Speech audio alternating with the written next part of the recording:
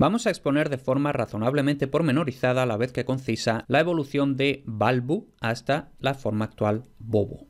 Vamos a ver que la evolución fonética propiamente no es muy complicada, pero hay algún detalle interesante. Por ejemplo, antes de empezar, en la etimología del adjetivo balbus en latín debe de haber algo de onomatopeya. De hecho, probablemente el adjetivo esté relacionado con balare, es decir, balar, lo que hacen las ovejas, porque las ovejas dicen va, va, e incluso es probable que esté relacionado con bárbaro, porque los griegos entendían que quienes no hablaban griego decían solo bar, bar, bar. Y de hecho también tiene mucho sentido que este balbu se parezca al español balbucear, balbucir, que es una especie de tartamudeo, y aunque esto no tiene por qué ser cierto, de siempre, como vemos ya en la etimología latina, ha habido una conexión entre tartamudear y no ser muy listo.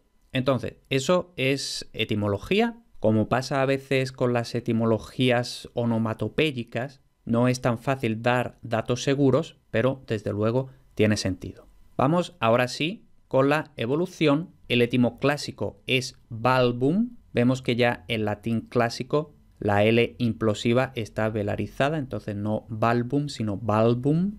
Y el estadio latino vulgar del que hemos de partir es balbo. Aquí tenemos el cambio al sistema vocálico de 7 vocales tónicas, 5 átonas sin oposición de cantidad, la apertura de esa U breve en O y, como siempre, la pérdida de la M final. Entonces, desde este estadio balbo, ya lo primero que tenemos es la vocalización de esa L velarizada implosiva. Normalmente una L implosiva cuando vocaliza lo hace a U.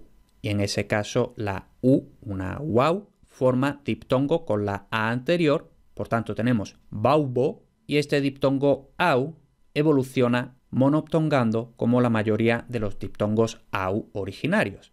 Entonces tendríamos bobo, bobo, bobo.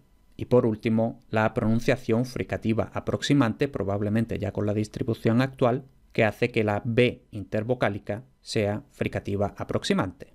Y aquí, antes de terminar, algo que me ha sorprendido en la investigación, porque por lo que he podido ver en el corde y que luego también he confirmado en Corominas, esta palabra bobo no está documentada hasta finales del siglo XV. Eso no necesariamente significa que no se usara antes del siglo XV, simplemente que no se escribía por la razón que fuera.